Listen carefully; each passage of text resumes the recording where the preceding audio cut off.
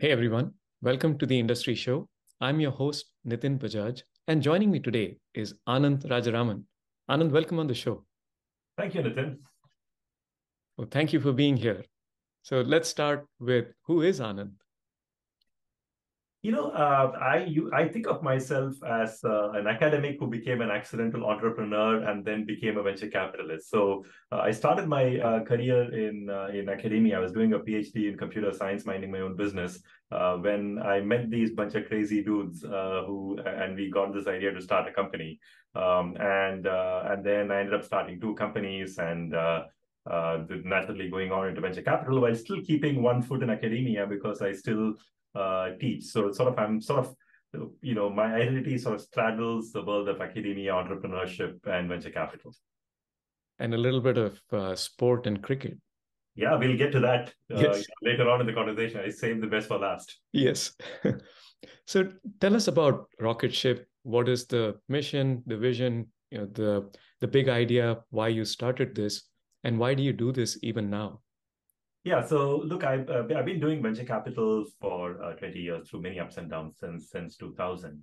Um, and uh, you know, when Venki and I uh, start, you know, decided to start Rocketship 2015, we wanted to do something different, uh, not the same venture capital model that we've been doing for many years. And so we said it would be interesting to to do a venture capital firm that's entirely data driven um, and algorithm driven, like like a quant uh, venture capital firm almost, right? Um, and so that's what Rocketship uh, VC is. It's a, it's a venture capital firm where all our investment decisions are backed by uh, data and algorithms. Our algorithms help us identify companies based from a large data set, and then we end up investing in some of those companies.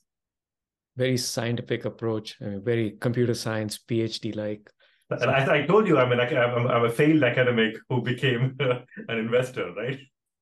We learn from our our failures so we'll, we'll talk about that too a little right. bit give us a sense of the size and scale of Rocketship but more importantly the impact uh, that you and the team have created through this yeah so interestingly we uh, we are on a third fund uh, mm-hmm. Rocketship uh, fund 3 uh, third fund is about 120 million dollar fund uh, we've invested. Uh, the one interesting thing is is because we're using data and algorithms, you're not geographically restricted to any one area. Or we have a very small team of about five or six people. Uh, we're all based in Silicon Valley, uh, but the majority of our investments are outside Silicon Valley, mm-hmm. right? So we're not uh, geographically constrained in any way. So about a third of our investments are in uh, in the U.S. Silicon Valley. A third are in India uh, and the third are rest of the world. Rest of the world includes Indonesia, Middle East, um, you know, Latin America, Europe, uh, all over the world. And, and, these are just the companies the data has told us were interesting.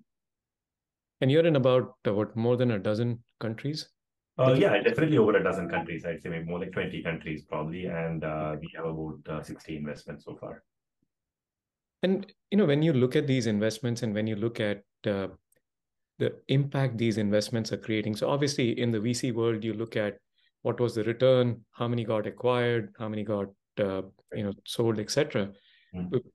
When you look at the work these startups do, these companies that you invest in do, mm-hmm. if you were to kind of take a how many lives have they touched, how much, you know that that's what uh, I'm looking at when I say impact.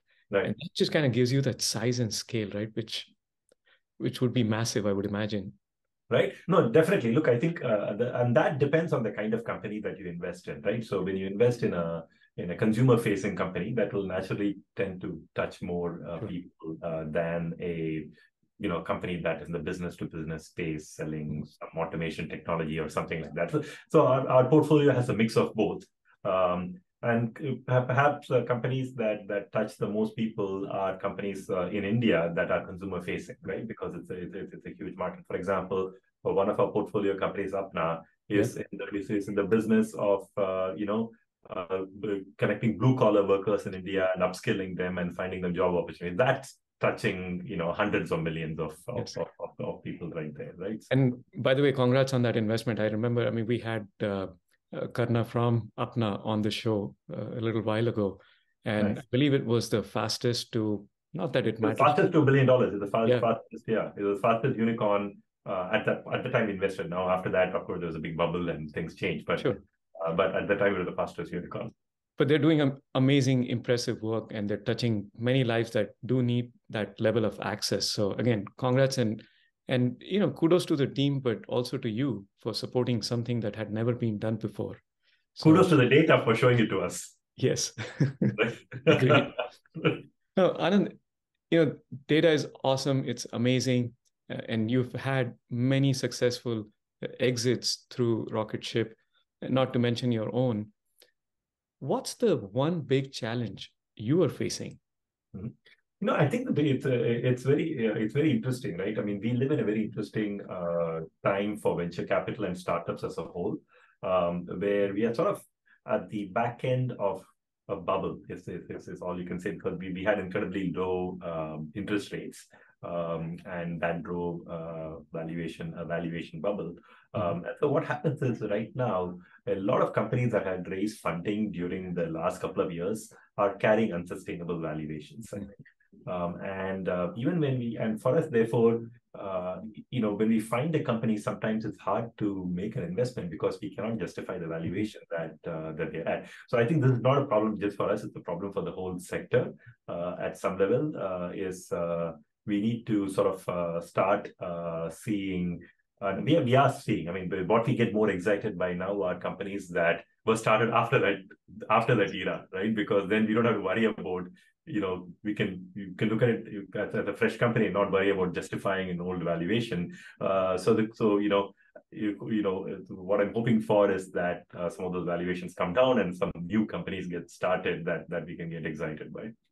So true, and you know a little bit of this is I'm guessing the investors who don't want to let go of a lower valuation, the founders who may right. Want to hold on to, oh, we were at a billion, we don't want to be at a 600. Exactly. Yeah. So it takes a little bit of that time, maybe shifting some of those uh, mm-hmm. mindsets. Mm-hmm. But then there's the awesome thing is there's always new opportunities coming into the market. That's exactly right. Now, on the flip side of challenges come opportunities, and I would love to hear what's the most exciting one that you're looking at?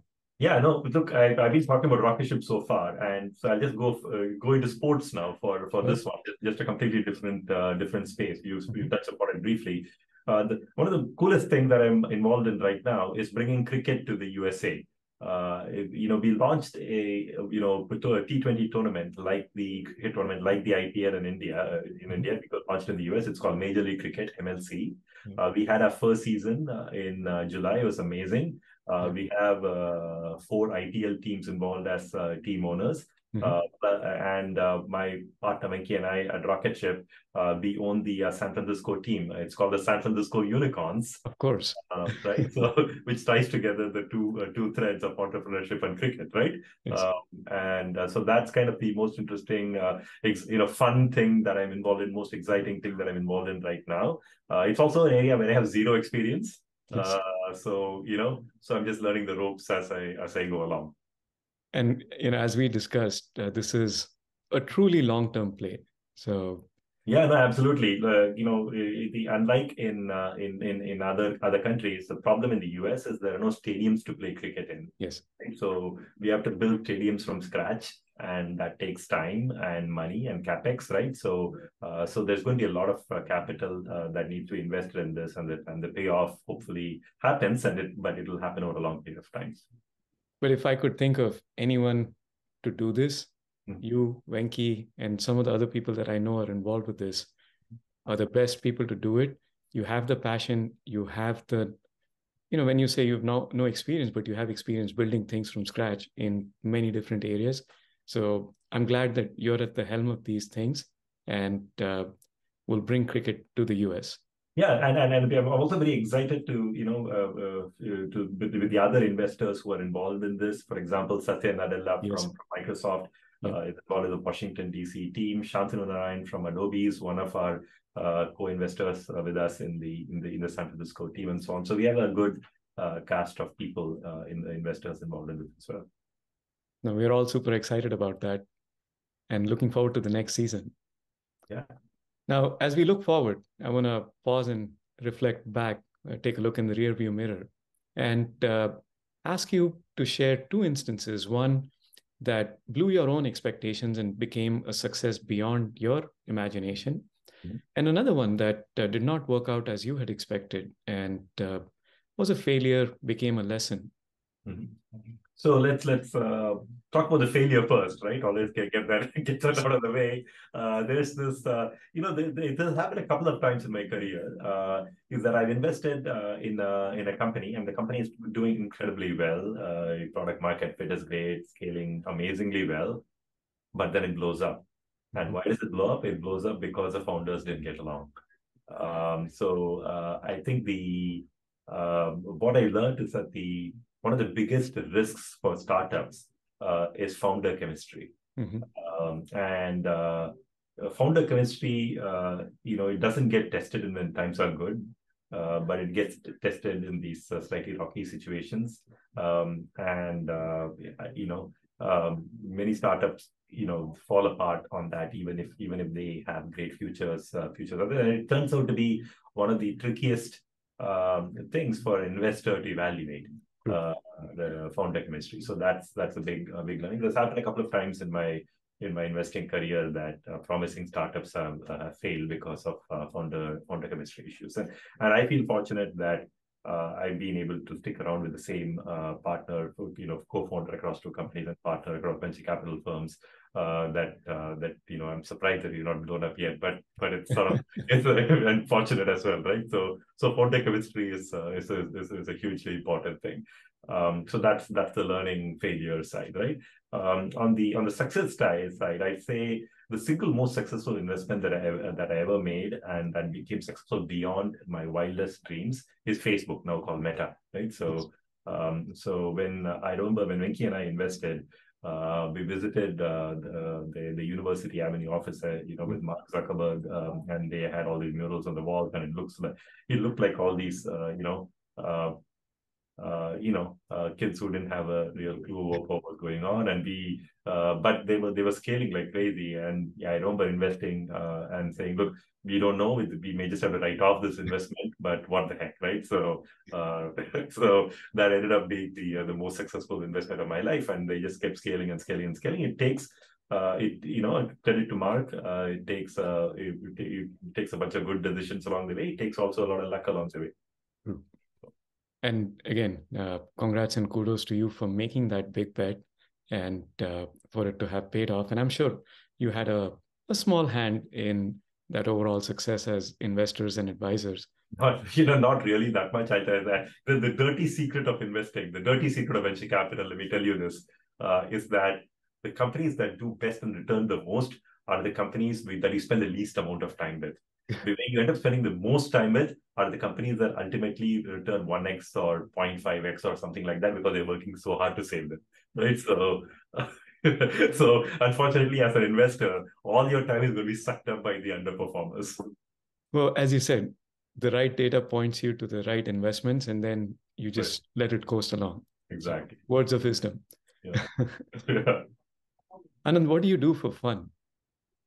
Uh, for fun, look, uh, these days it's I'm following all this cricket stuff. Uh, but uh, but other than that, uh, I'm uh, I'm into fitness. I spend spend a bunch of time on on fitness related activities. I love to play chess. Mm-hmm. Love hanging out with with friends and family and so forth. So that that ends up being the the fun part. That's awesome. Now we come to the most favorite part of the show for me. that's mm-hmm. fun for me is getting you to share your one line life lessons with us. Very interesting. So uh, let's see. The first uh, one-liner is carpe diem. Yes. Okay, so uh, you have to seize the day, and uh, an opportunity comes along, and you better seize it, right? It's not going to come, you know, multiple multiple times.